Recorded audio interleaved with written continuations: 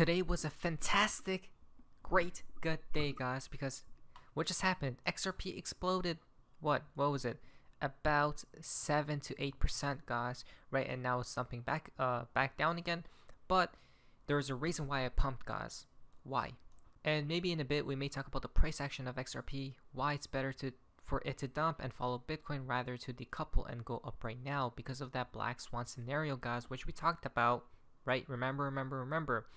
But the reason why I did pump is because here we go. It has begun, guys. The end is here. From BC Backer. Oh snap! What just happened? Judge re rejects SEC motion to appeal Ripple ruling.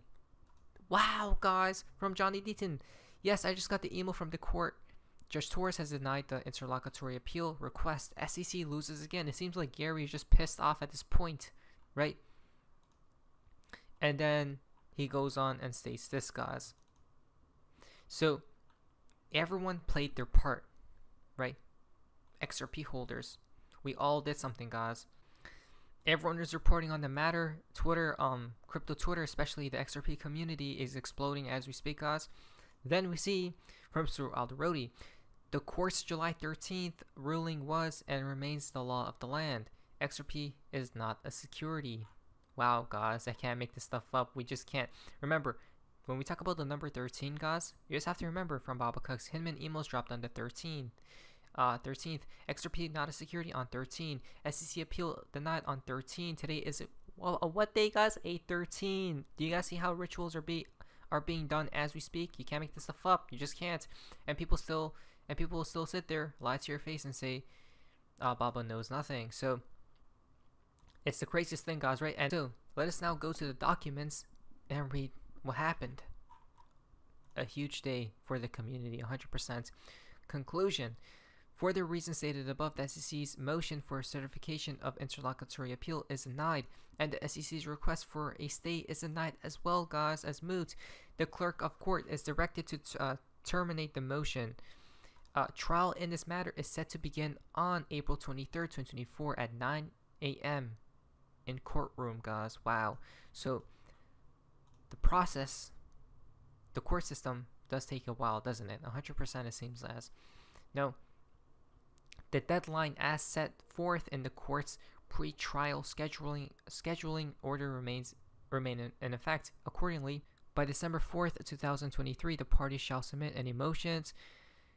Then we have all these uh, deadlines that needs to be met, guys. December 4, December 4, December 4. Then we see on April 16th, counsel for all uh, for all parties shall appear for a final pretrial conference in courtroom. And then 5. This is what's interesting here. Prior to the final pretrial conference, counsel for both parties along with the parties themselves shall meet in person for at least one hour to discuss settlement of this matter. There you guys go. So the chances just rose, guys, right? Has risen. Settlement when? There there probably will be settlement, guys. So ordered. Wow, Analisa Torres right there. Wow, guys. Can't believe it, right? The SEC is most definitely pissed. We then see from Attorney Jeremy the SEC's motion for interlocutory appeal denied, which means the case uh, uh, either goes to trial in April or goes away, and this order shall allow the judge to explain parts of her ruling even better, making appeal that much harder for the SEC to win, right? So the SEC is going against a strong current as we speak, guys, right? It's I don't know about the SEC's plan. Maybe this is why they're attacking other crypto companies. I think that's that's what it is, guys. So this is funny actually, because the SEC knew they were going to lose against Ripple and XRP 100%. This is why they went after Coinbase and Binance, guys. Right now they have they actually have a, fight, a fighting chance against Binance. I don't know about so, so much about Coinbase, but do you guys see the game plan? Disaster for the agency. Wow. And you guys can read all this stuff if you guys do wish to, guys. If you go down here, though, I also I like how the judge here clarifies her holding at the same time reminding the SEC that speculating in a commodity alone does not meet the test but that you also must rely on the efforts of others which the SEC failed to prove.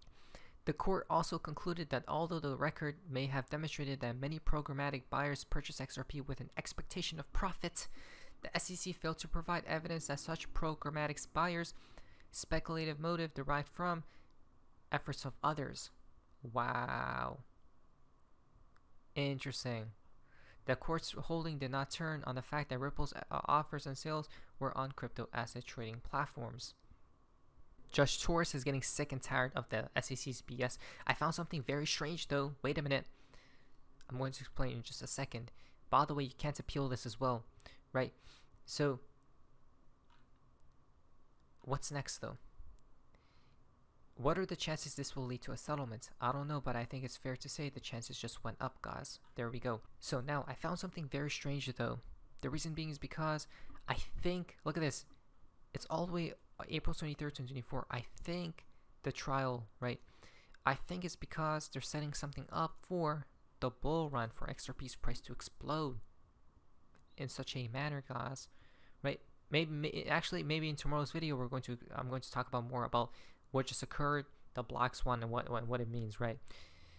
But Johnny Deaton, John Deaton on the Torres denial, uh, denial of SEC appeal. Let's listen to John Deaton speak his mind of what just occurred. Was this, and what exactly are the implications of her actually denying this? Just came out that she denied it, I believe, on many different counts. They did, pretty much didn't win anything. But, John, can you first explain what was the interlocutory uh, appeal that they were trying to do? Sure, thanks. And this is the news that we expected uh, because, uh, as everybody knows, uh, I've been saying very confidently that she was going to deny it. Um, and interlocutory appeal is, is just think early appeal is another word and sort of for early. Normally, you wait until the trial is over, and then anything that either side thinks was a mistake, you take it up on appeal. Here, it's an interlocutory early appeal because there's still a trial of Brad Garlinghouse and Chris Larsen and whether or not they aided and abetted uh, Ripple, the company, in institutional sales. In other words, the SEC must prove that XRP was so obviously a security to these executives that they were reckless in helping Ripple make institutional sales of XRP to venture capitalists, banks, or whoever. And so normally an interlocutory appeal is only granted when there it's a really a, only an issue of law or there has there's like this confusion going on and remember, the SEC kept saying it's a very simple test. There's clarity. Is the law of the land. Circumstances, Gary Gensler says, you just apply the facts of the case to the. That's what you did. But the SEC didn't like the result, so they won the appeal. And a lot of me, Jeremy, kept saying, look, she applied the facts of this case. And so um, what she ended up doing is she allowed the SEC to file their motion.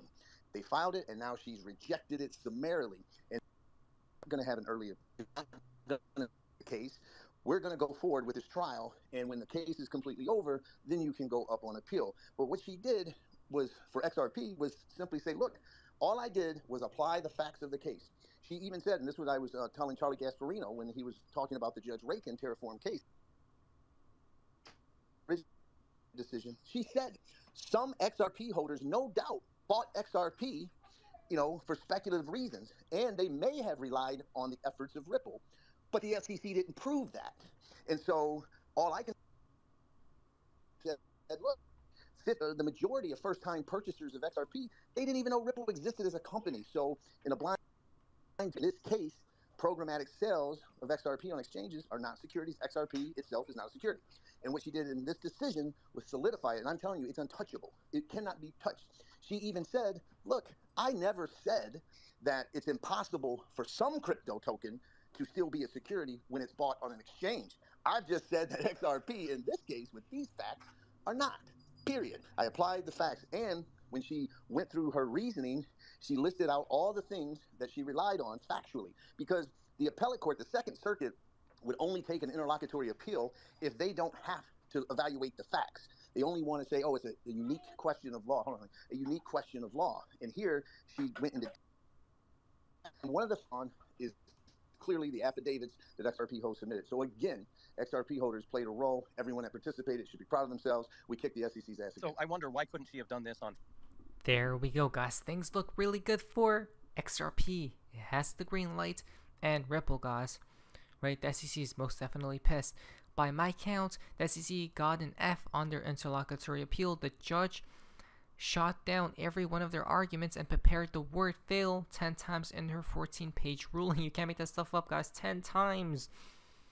In the document, new, I asked Johnny Deaton what, what his initial reaction was to Judge, Judge, uh, Judge Torres' ruling. He told me she made clear that her decision was about XRP in this case, and some, she made it even clearer that, excluding Bitcoin, XRP is the only digital asset with legal clarity.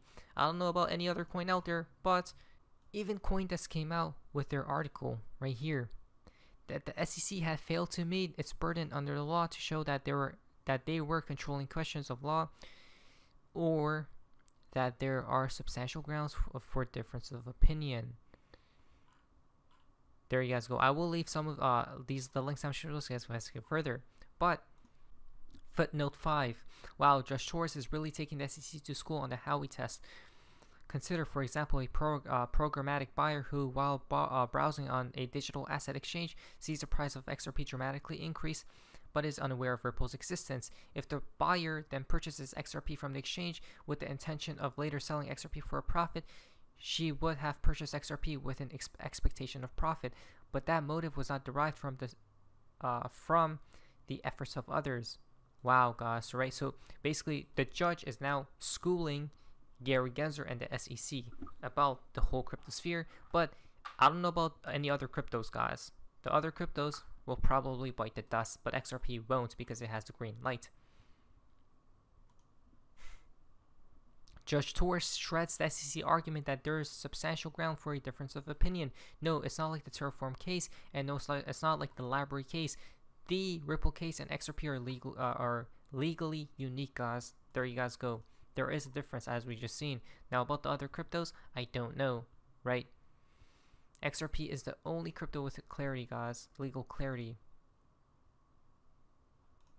The court held that based on the totality of the circumstances in this case, including an, exa an examination of the facts, circumstances, and economic realities of the transactions, Ripple's programmatic sales could not lead investors to reasonably expect profits from Ripple's efforts. There we go. And guys, the SEC's but caught in the web of their own lies, right? well, well, since the SEC is losing to Ripple and XRP, they're going to go after every other coin or com- crypto company out there. Let just be prepared. Just Torres is being crystal clear on why sales of XRP on the secondary market are, are not securities. I'm not going to read all this, but you guys can. Um, I sense that she has had more than more than enough of the SEC's games, guys. Right? Exactly. There you guys go at the end, guys, this whole case is a waste of time. Just give X. I mean, XRP already had his green light, but give Ripple the green light, guys. Um, Brad Garlinghouse and Chris Larsen, and then things are set right at that point in time. All, the, all well, again, the trial what 2024 setting up for before maybe the collapse. I don't know, guys. Things seem interesting. I will leave all the links I'll show so you guys can investigate further. Not financial advice, but things look clear good things on the horizon at the end of the day. Good events, maybe. I don't know. We'll have to wait and see. Not funny, Joe. See ya.